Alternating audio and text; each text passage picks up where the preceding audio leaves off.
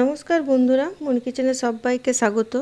আজ আমি আপনাদের কাছে শেয়ার করব মঠরি বা লাচ্ছা নিমকির একটি রেসিপি এই নিমকি আপনি অনেক দিন স্টোর করে রাখতে পারবেন আর এই নিমকি খুবই মুচমুচে আর ক্রিস্পি হয়। এটি খেতে খুবই টেস্টি আর মশলাদার হয়। তো চলুন এই রেসিপিটি দেখে নেওয়া যাক। এখানে আমি একটা বাটি নিয়ে নিয়েছি। এর মধ্যে আমি দুই কাপ ময়দা দিচ্ছি।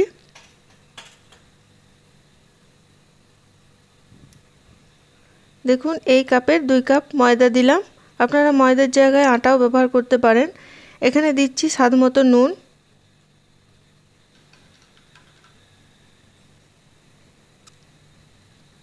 আর দিচ্ছি সামান্য পরিমাণে একটু জোয়ান। হাফ চামচের মতো দিচ্ছি কালো জিরে। আর দিচ্ছি কাসুরি মেথি হাফ চামচ। আর চিলি ফ্লেক্স হাফ চামচেরও থেকে একটু কম। এবার সব শুকনো উপকরণগুলো একসাথে মিলিয়ে নেব। এখানে কালো জিরেটা দিলে একটু বেশি টেস্ট হয় খেতে, তাই কালো জিরেটা একটু বেশি করে দিলাম। এবার দিয়ে দিচ্ছি সাদা তেল। ময়নের জন্যে একটু বেশি করে সাদা তেল দিয়ে নিতে হবে।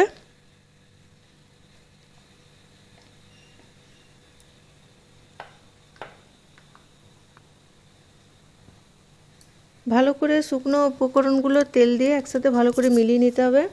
দেখুন, একটা মুট করা যায় সেই রকমভাবে আপনারা ময়নটা দেবেন। আর ঝুরঝুর করে ভেঙে যাচ্ছে, তাহলে বুঝে যাবেন ময়নটা ঠিক হয়ে গেছে। এখন অল্প অল্প জল দিয়ে আমি একটা শক্ত ডো তৈরি করব।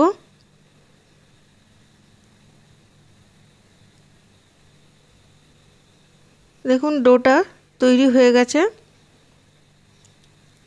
খুব নরমও হয়নি আর খুব শক্ত হয়নি। এবার এটা আমি 10 মিনিটের জন্য ঢাকা দিয়ে রেস্টে কিছুক্ষণের জন্য রেখে দেবো।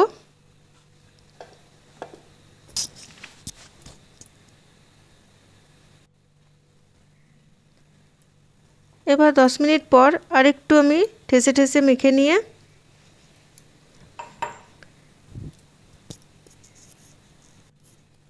এভাবে স্ল্যাপের উপরে আমি একটু লম্বা করে নিচ্ছি। এরকমভাবে লম্বা করে নিতে হবে।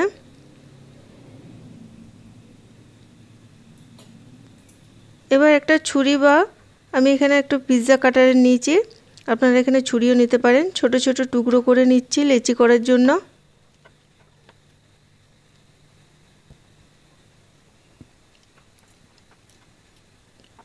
সবগুলো লেচি তৈরি করে নিচ্ছি।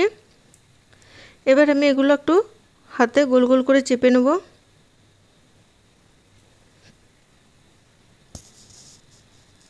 এভাবে গোল গোল করে লেচি করে নিচ্ছি।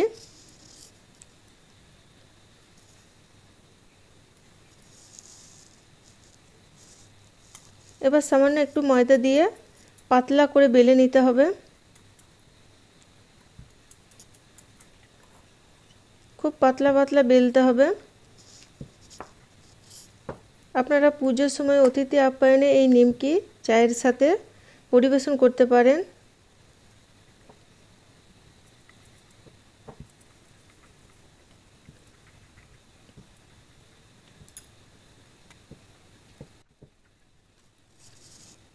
সবগুলো বেলা হয়ে গেছে। দেখুন কত পাতলা বেলেছি। এবার একটা রুটির ওপর আমি একটু তেল ব্রাশ করে নিচ্ছি।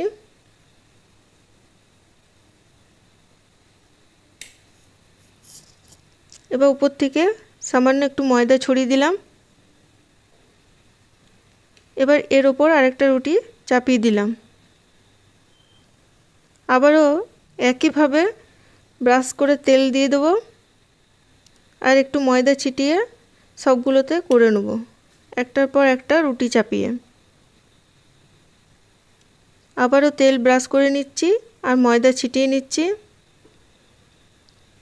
এবার সবগুলো একসাথে এভাবে ধরে একটু ফোল্ড করে নিতে হবে। একটা রোলের মতন তৈরি করে নিতে হবে। একটু চেপে চেপে রোলটা করে নিতে হবে।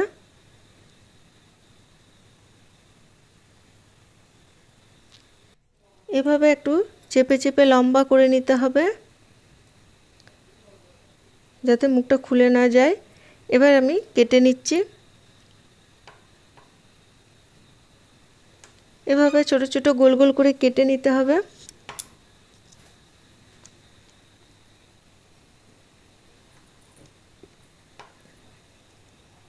বাড়িতে এভাবে বানিয়ে দেখবেন, খুব সুন্দর অপূর্ব খেতে হয়।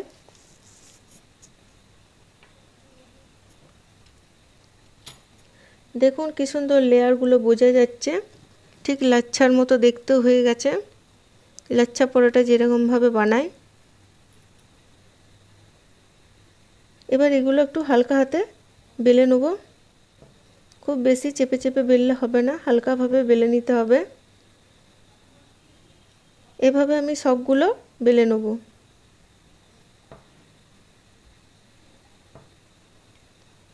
বন্ধুরা, যারা এখনও আমার চ্যানেলটিকে সাবস্ক্রাইব করেননি, আমার চ্যানেলটিকে সাবস্ক্রাইব করে দেবেন। আর রেসিপিটি ভালো লাগলে অবশ্যই লাইক করবেন আর কমেন্ট করে জানাবেন কেমন লাগছে।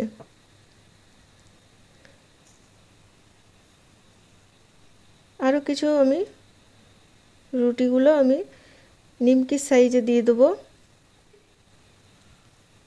দেখুন, এভাবে তিন কোণে করে একটু নিমকি করে নিচ্ছি, একটা কাটা চামচ দিয়ে ফুটো করে নিচ্ছি।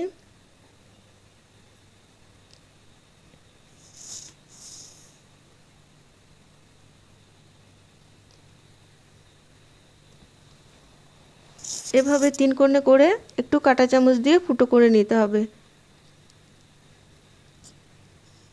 আপনারা ওইভাবে যদি না পারেন, এভাবে করেও রাখতে পারেন।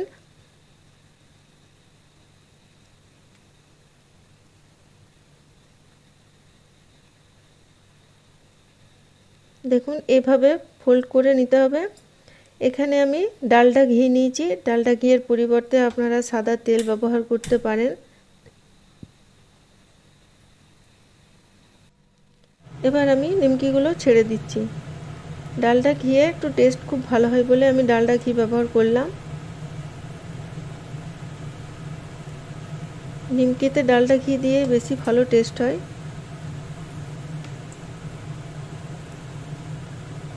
এভাবে একটু উল্টে পাল্টে গোল্ডেন ব্রাউন কালার করে নিতে হবে।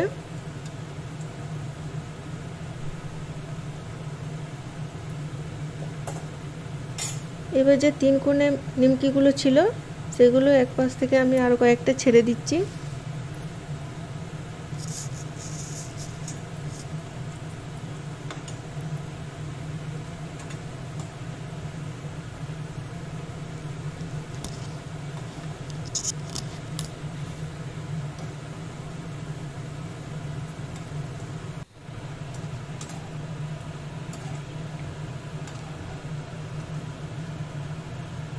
দেখুন নিমকিগুলো গোল্ডেন ব্রাউন হয়ে গেছে, আমি এবার তুলে নিচ্ছি। বুঝতেই পারছেন কতটা খাস্তা ক্রিস্পি হয়েছে।